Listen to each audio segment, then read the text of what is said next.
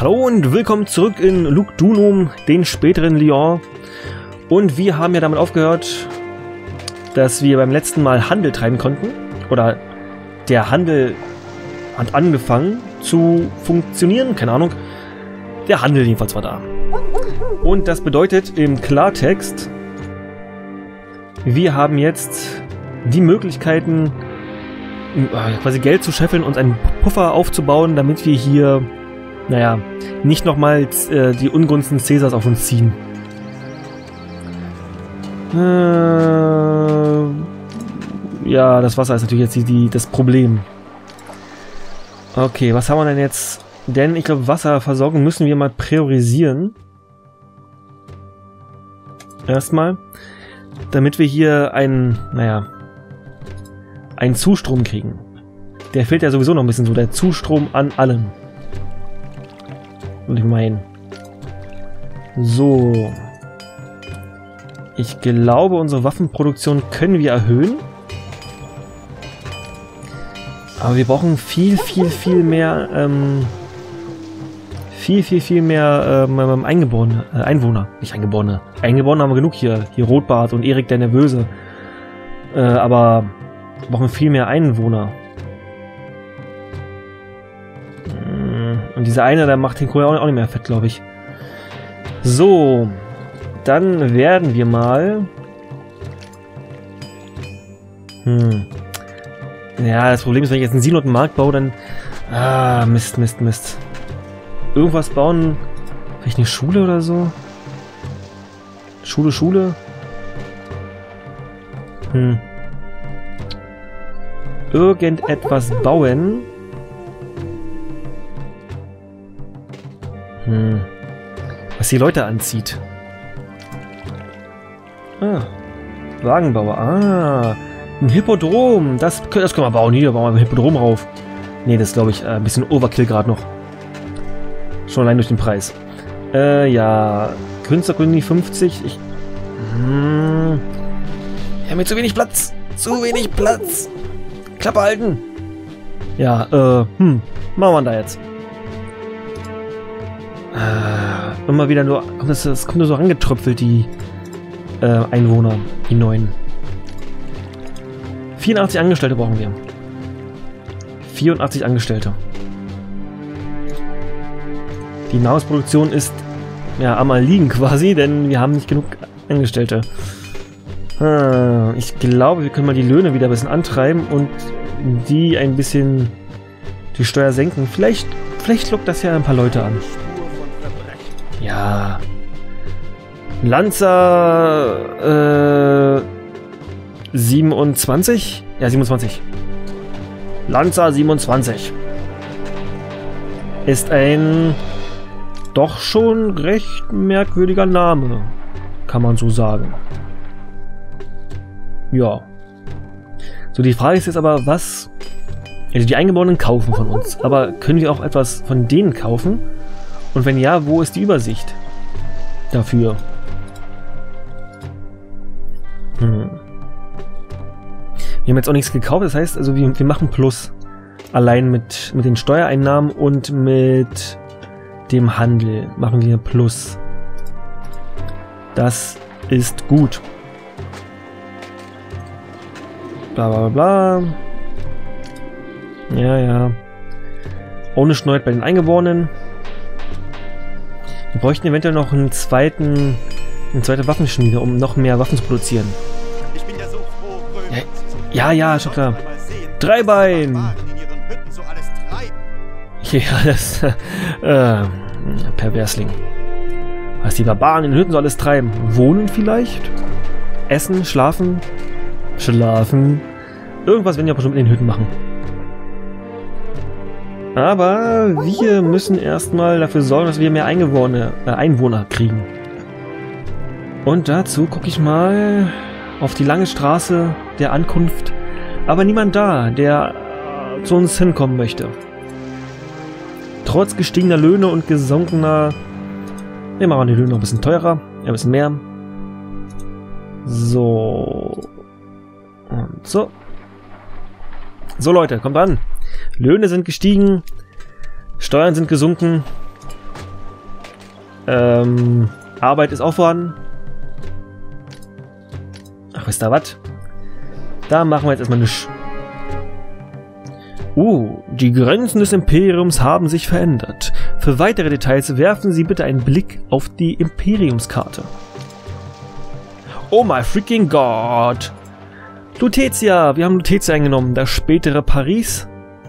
Und jetzt haben wir hier Marsilia, also Marseille. Kauft Geschirr und Marmor. Ich glaube, zack, zack, zack, zack und zack und zack und zack. Und so. Marmor nehmen wir jetzt an. Und wir bauen eine kleine Marmorgrube. Äh, Marmorsteinbruch. So. Na, wunderbar. Wie ist das denn jetzt wieder? Das ist der gute Ernst. Der er Ernst, der Ernst hat einen Job gefunden. Das gefällt mir.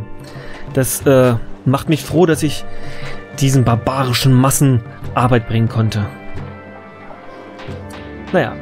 So, jetzt handeln wir sowohl mit Marseille als auch mit der anderen Stadt, die ich den Namen vergessen habe. Mit Mediolanum. Mediolanum. So. Kauft Marmor. Das ist gut. Wie teuer ist eigentlich Marmor? Mal gucken auf die Preise. Preise anzeigen. Marmor, Marmor, Marmor, Marmor. Uh, Marmor und Waffen. Die bringen ordentlich was. Die bringen ordentlich Geld in die Kassen. Das gefällt mir. Das heißt, ähm, ja, die Sache ist natürlich, diese Handelswege außerhalb dieser Karte sind stark von Steinfällen bedroht. Das heißt, irgendwann kommen mal Steinfälle oder nicht Steinfälle, sondern ähm, na, hier, wisst schon, ne? Dingensbummenskirchen, hier. Ein, ein Steinschlag, so heißt es, genau, ein Steinschlag. Und dann sind für mehrere Monate die Handelswege blockiert. Ernsthaft? So, kommt's noch. Rohmaterialien. Äh, nee. Ich reiß das mal ein bisschen ein hier. Das ist kein, Mensch. Rohmaterialien, nicht. Wieso immer Rohmaterialien? Farm, Schweinefarm. Und Fleisch. So. Äh, so. Es ist eine Brillewurst. Wir brauchen, wie viel brauchen wir? 10? 10 Fleisch, ja. 10 Fleisch. Dazu brauchen wir aber erstmal Angestellte. So, wir haben Waffen und Marmor. Das läuft soweit, das ist gut, aber uns fehlen noch Angestellte. 44. Äh, Nahrungsprodukt. Äh? Hallo? Ist noch nicht. Ist noch nicht im System drin jetzt, oder was? Jetzt vielleicht? Hallo? Dann mache ich ganz normal. Farm. Die kaufen ja auch, die kaufen ja alles von uns. Ist ja geil. So, Schweinefarm. Habe ich jetzt vielleicht 10 Angestellte? Konstruktion. Hä? Was zum? Äh, wieso komme ich keine Angestellten rein? Ach, um Gottes Willen. Das Spiel macht mich noch irgendwann fertig. Cäsar verlangt, ja? Cäsar verlangt. Und wir können nicht liefern. Warum können wir nicht liefern? Weil das Spiel sagt, nö, also diese Tierfarben, die nehme ich mal nicht im System aller Arbeiter auf, ne? Wieso rennt er nach unten? Oh. ist doch ein Hohn.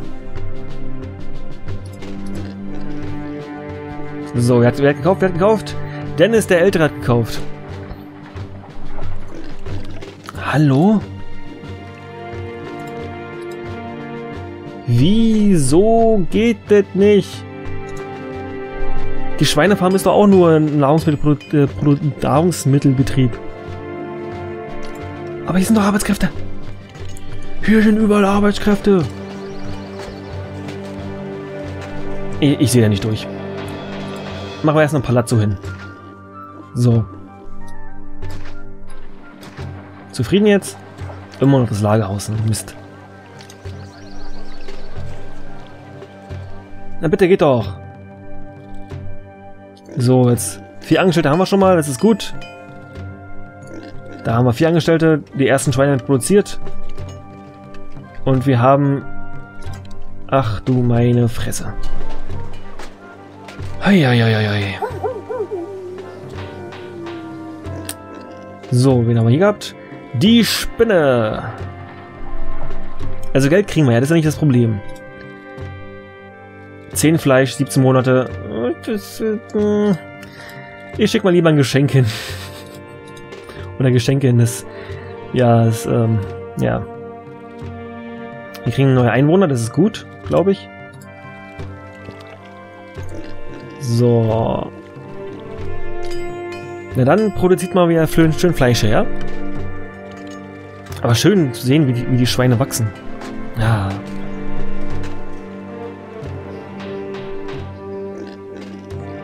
Sagen unsere Berater. Unsere Berater sagen, ja, geht so. Geht so. Das sagen unsere Berater. Mhm. Gleich haben wir das erste Stück Fleisch. Und es hat nur einen Monat gedauert. Oder zwei Monate dann. Ich wage mal zu bezweifeln, dass wir das schaffen werden. Kaufen die überhaupt? Lassen die uns überhaupt Geld da? So, da ist jetzt der erste, das erste Stück Fleisch. So. Wollen wir mal sehen. Hä? Achso, das dauert, dauert noch ein bisschen. Die Berechnung der ganzen Sachen dauert immer ein kleines, ein klein wenig, glaube ich. Sowieso merkwürdig, äh, wie die Berechnung hier läuft. Ich muss jetzt mal kurz die Augen aufhalten, ob der hier, ob der gute Ficus Faltus, uh, der hat schon einen lateinischen Namen, das ist gut, ob der schon äh, der Geld da lässt. Mal gucken. Ja, er lässt Geld da. Wunderbar. So muss das, so nicht anders. Neue Einwohner, okay. Das geht ja alles ziemlich, ziemlich schleppend voran. Haben zwei Stücken Fleisch in vier Monaten. Das ist kein guter Schnitt, glaube ich. Das ist absolut kein guter Schnitt. Naja. Einen guten Tag. Einen guten Tag. Ja, kannst du, aber, aber ich kaufe nichts. Ich verkaufe... Ja, ich weiß. Zwölf Monate Zeit zu erfüllen. Nein, nein, nein, die Forderung haben wir nicht vergessen. Keine Panik, Cäsar. Alter Kollege. Wir werden das so nicht schaffen, die Forderung zu erfüllen. Aber hey, keine Panik. Keine... Ihr. Hier, habt einen Araberhengst. Geht aufs Haus. Geht aufs Haus. Meine Fresse, meine Fresse, meine Fresse, meine Fresse. Äh, wir haben ein großes Problem, glaube ich. Ich werde... Ja, ich werde die Marmorsachen mal einstellen. Weil wir haben absolut viel zu... Wieso haben wir so wenig Eingewo äh, Einwohner? Wieso? So, Gewerbe aus. Jetzt mal ernsthaft. Ähm, die Sache ist die. Hier sind überall Freistellen und normalerweise ist es doch am Anfang immer so ein, so ein Rush auf alles. Da sind überall tausend freie Stellen, also da werden alle sofort belegt, alle äh, äh, Wohnungen, Wohnungen, Wohnung, aller, aller freier Wohnplatz. Halalalalala. Ich rede nicht mehr richtig. So. Wollen wir mal gucken. Das reicht vorne und hinten nicht mit, den, mit der Produktion von Fleisch. Vorne und hinten nicht. Viel Fleisch. Hm. Jetzt seid doch mal ruhig hier, Bello.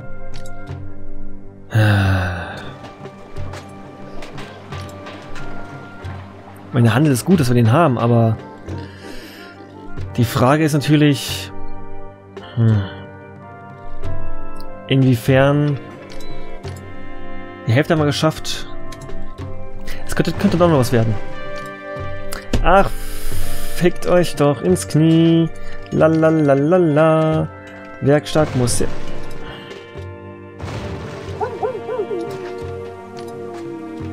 Ernsthaft.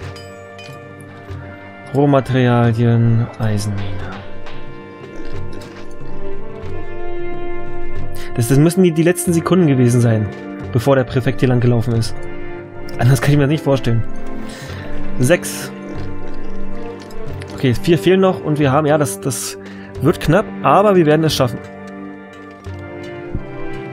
So, Leute. Wieso kommen keine Einwohner? Ähm, wahrscheinlich, weil unsere Kulturwertung am Boden ist. Könnt ihr mir vorstellen, dass das einer der Gründe ist. Ich mache hier mal weg. So. Wie viel haben wir? Wir haben sieben Fleisch. Das schaffen wir. So. Die ersten Arbeiter sind auch da. Oder? Hä? Hallo? Arbeiter? Hm. Ja, unsere Kulturwerte muss steigen. Also bauen wir hier mal ein Theater hin. Und eine Künstlerkolonie. Acht Fleisch. Ja, okay.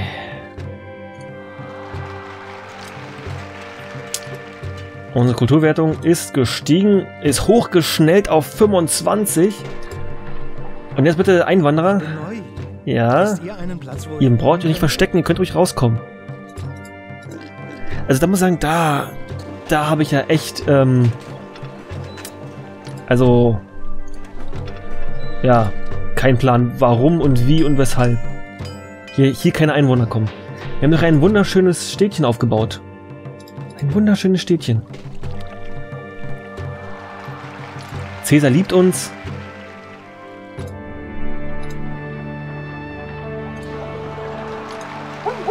Hm. Dreh sie mal ab. Ist egal. So, jetzt. Jetzt haben wir hier 10. Das können wir dann nach Rom schicken. Jetzt können wir es nach Rom schicken. Wunderbar. Cäsar liebt uns doch bestimmt. Wieso kommen keine Einwohner? Was muss ich noch machen, um Einwohner zu, äh, anzukriegen? Ich mache mir mal noch eine Schule hin, weil ich es kann. So. Seht, ich baue eine Schule und staunet über meine Bildung. Ich glaube, den kann ich jetzt auch einstellen. Den brauchen wir nicht mehr. Erstmal. Die können wir dann bei Bedarf wieder dazu holen. Denke ich mal. Aber es fehlt hier echt an Leuten. An Einwohnern. Wo bleiben die? Hier ist noch so viel Platz. Hm. Wasser. Brunnen. Brunnen. Hm. Brunnen. Nee, normal. So. Jetzt ist aber hier... Ah ne, jetzt... Danke, kein Problem. So. Jetzt Weizenfarm. Jetzt wird hier Silo gebaut. Und zwar hier oben hin. Ist mir egal, ob euch das nicht gefällt oder ob euch das gefällt oder nicht. Und ein Markt wird gebaut. Und zwar hier hin. So. Ich hoffe, dass die Markttante bis hier nach oben läuft. Aber ich glaube, ich werde die Markttante mal hierhin platzieren. Sicher ist sicher. So, wir haben, Arbeits, wir haben Arbeitsplätze. Wunderbar. Das ist der erste. Flavius, hast du deine Kumpels mitgebracht? Flavius, äh, wo sind deine Kumpel? Hm. So, die Markttante geht zum Markt und bringt ein Stück Fleisch mit. Wunderbar. So, jetzt da. Gehört, Cornelius, hast du deine Kumpels mitgebracht? Cornelius und? Cornelius. Keiner da. Okay. Uh, ah. Uh, ah, ah. Da sind die ersten. Das sind neue. Neue Einwohner. Neue Einwohner. Hier ist noch so viel Platz. Niemand hat bis jetzt auch nur ein Zelt aufgestellt und doch werden wahrscheinlich schon in Kürze Einwanderer eintreffen, falls die Stadt Nahrung und Arbeitsplätze anbieten kann. Ja. Nahrung. Haben wir sowas? Sowas in der Art?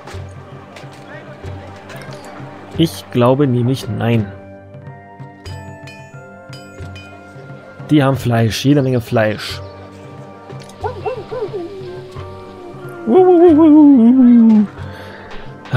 Ich glaube, ich werde ja auch eine kleine Aufnahmepause einlegen. Zeit ist schon wieder rum. Und ich sage Dank fürs Zuschauen und, uh, da ist Flavius. Flavius Voldemort. Also dann, bis zum nächsten Mal. Tschüss. 750 Jahre vor Christi Geburt. Der Beginn eines Weges, der weiterführen würde, als sich irgendjemand in seinen kühnsten Träumen vorstellen konnte. Bauern gründeten eine Siedlung am Ufer des Tiber. Sie nannten die Siedlung Rom.